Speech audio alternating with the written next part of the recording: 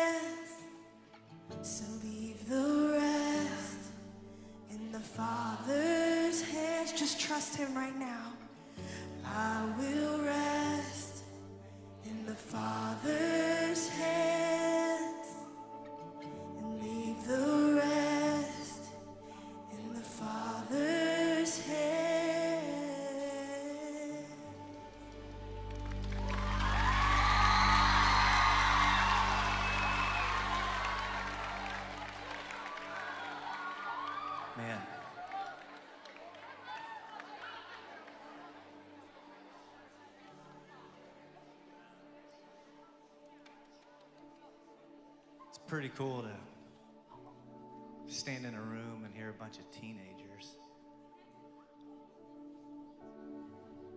picture God as something that's bigger than your circumstances, bigger than your popularity, bigger than the things you achieve, bigger than your friends, bigger than that last relationship you were in. And I don't know tonight like what your view of God really is. But I can tell you from someone who's lived a little bit longer than you, he's bigger and he's better than anything that you could imagine. In fact, across the room, real quick, why don't we just try something together? Why don't you just close your eyes?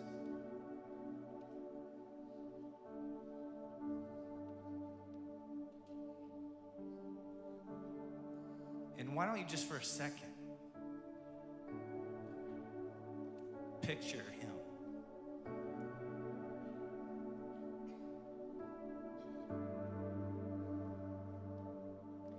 Like, what's a loving God saying to you right now when you see him?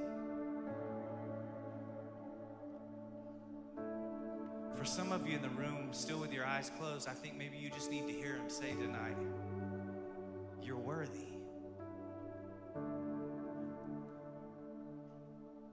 just tolerating me. He like really loves me. Like, what are you seeing him do to you? Are you seeing him with his hands open and kind of just waving you over to him and saying, Come on, buddy. Come on, lady. Come on, seventh graders. Come on, eighth graders. Come on, sixth graders. You can trust me with all your fears. You can trust me with all your friendships. You can trust me with your grades. You can trust me with your parents that just split up. You can trust me with everything tonight. And I can promise you tonight Tonight's not about behavior modification. We're not having this event tonight so that you'll be better. We're having this event tonight so that you can see better, so that you can see your God for who He is and for what He's done and for what He will do with you in the future. You're not alone tonight. You're not a number on a piece of paper in a small group tonight. You're not a label tonight. You are loved tonight. So, tonight, as we keep moving forward, you're going to see His love on display in a few minutes through some baptisms. But before we do that, I want to I want to sing a song with you, and it's going to be new to some of us in the room, but maybe you need to keep your eyes closed. Maybe you need to just look at these lyrics and you need to imagine for a few seconds of what God's love really looks like. So, God, right now, would you remind us of your goodness? Would you remind us of your love for us? Show us what that picture looks like. It's a beautiful picture.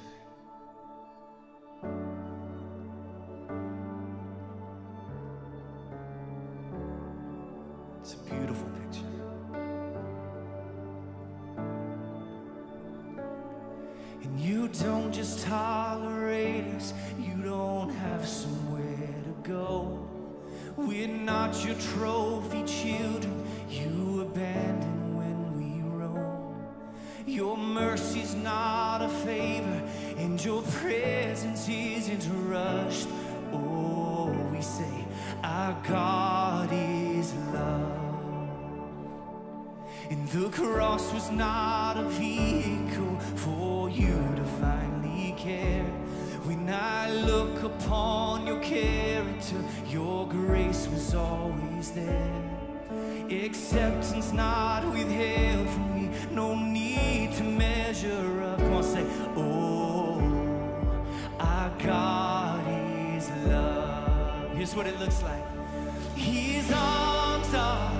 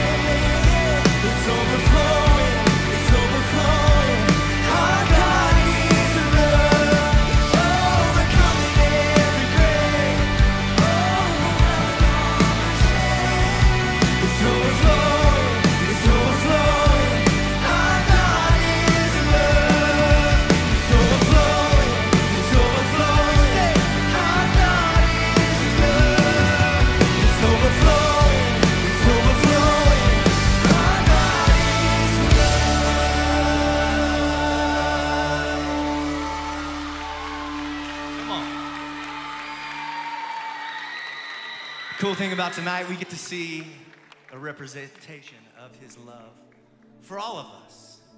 But we're going to hear it through two stories of your friends. So uh, let's hear these stories.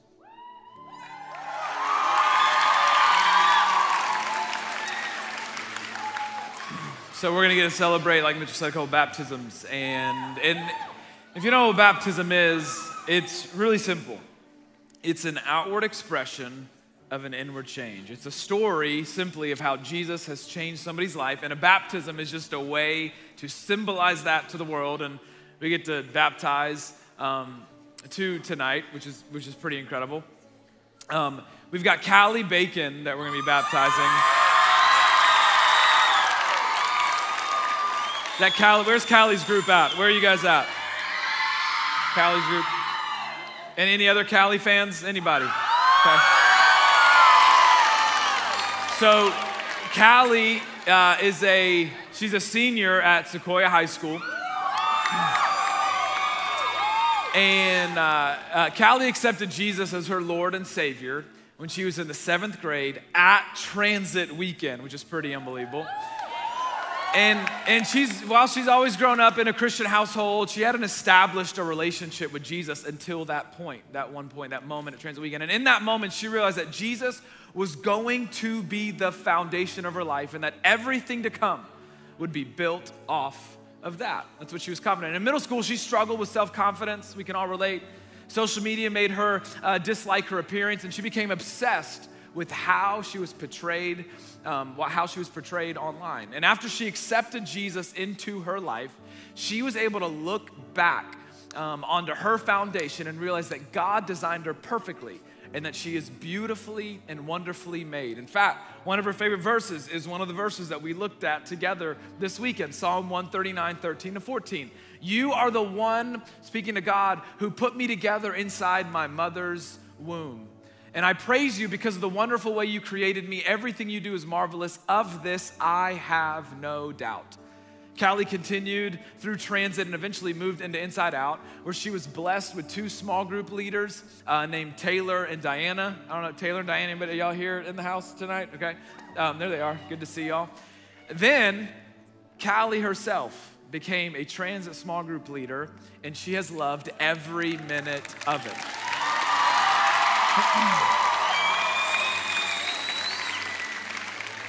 And, and there was one moment with her group that really stuck with her um, during transit weekend last year. Uh, there was a few girls opened up about kind of their own problems and with self-confidence and their own difficulty with accepting love and, and how some of them wish that they could be completely different person or maybe not even here at all. And Callie remembers thinking how brave those girls were for sharing their story and being honest and opening up and, uh, and, and being honest about how they wished they could see themselves the way God saw them. And Callie wished they could see themselves the way God saw them. That their courage and their strength made her faith stronger.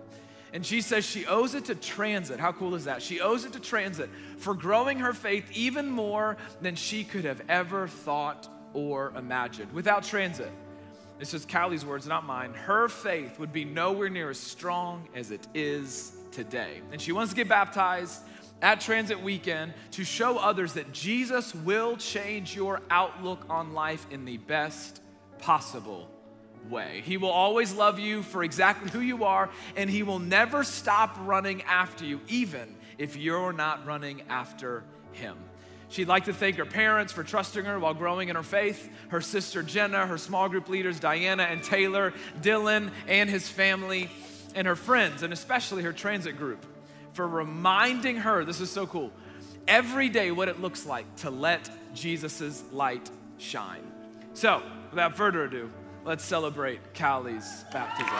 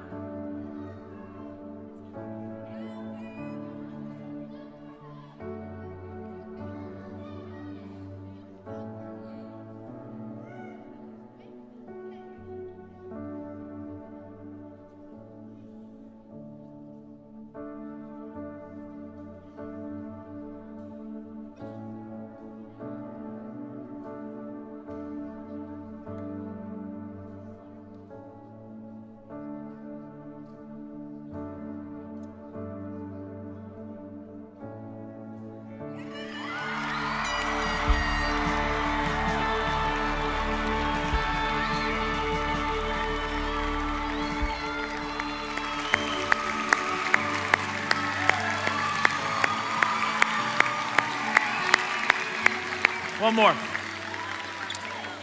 We also get to baptize Ellie Thornley. Ellie Thornley. Any Ellie Thornley fans in the house? Ellie is 13 years old and she goes to Mill Creek Middle School. Any Mill Creek Middle School fans out? Uh, When Ellie asked uh, Jesus in her life, she was praying with her dad one night, um, and they were in her room getting ready to go to bed.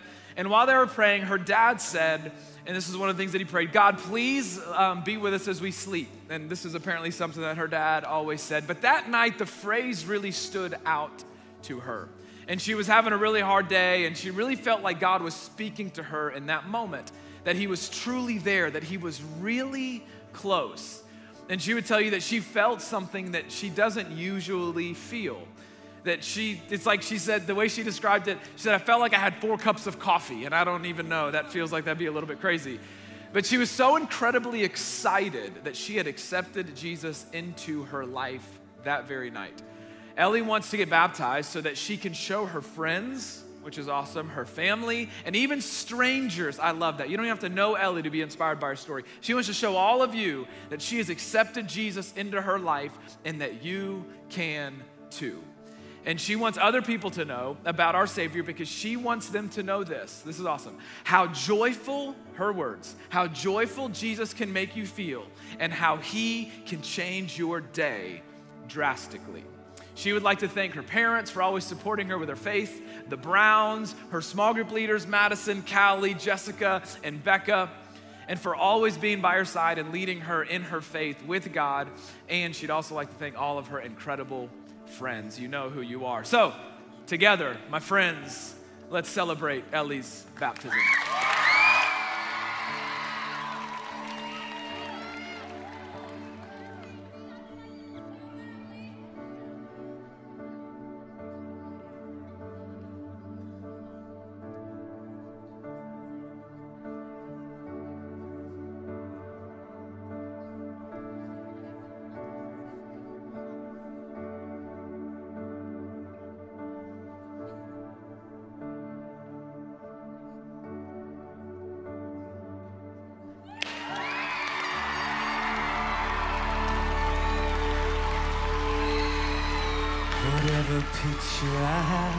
Isn't good enough. Come on. Whatever picture I have isn't big enough. Whatever picture I have doesn't sum you up. It doesn't sum you up. Whatever picture, come on. Whatever picture I have isn't big enough. Whatever picture I have isn't good enough. It looks like that. It looks like saving. Whatever picture I have doesn't sum you up. It doesn't sum you